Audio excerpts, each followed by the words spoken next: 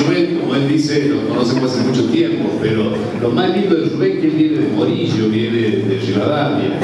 Eh, hace más de 30 años que se dedica al periodismo, hizo locución, eh, incursionó también en el teatro.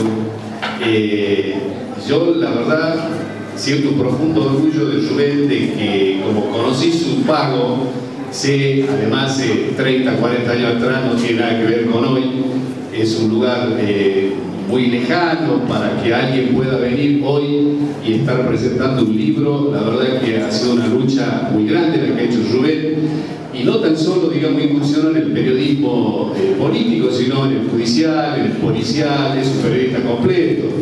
Eh, por eso es que nosotros sentimos un profundo orgullo que estés acá. Incluso ya cada uno de los concejales me dijeron que van a aportar para tu segunda edición del libro, así que calculo que te va, a costar menos este libro. Los concejales mueven toda la cabeza, están de acuerdo. Eh, ¿No? Sí, sí, los concejales además estamos, eh, César Álvarez también, se ganó todo con cinco, digo.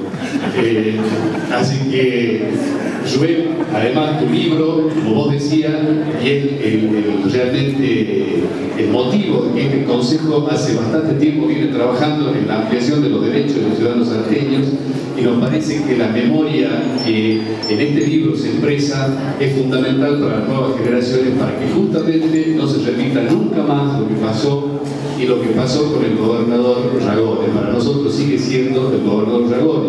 Este recinto lleva su nombre, así que lo recordamos permanentemente. Así que muchas gracias también, Fernando, por la presencia, compañero Jorge, a los compañeros abogados que han venido, que, que han sido Tania, Martín, que ya lo tenemos incorporado, eh, a Duarte, a los compañeros, que han sido un puñado de personas que realmente han llevado a cabo este juicio y, por la lucha de ellos se ha llegado al esclarecimiento de una parte de este tema que vamos a seguir en la lucha para que todos los responsables, como dice el libro, no sigan sin castigo. Así que muchas gracias Rubén.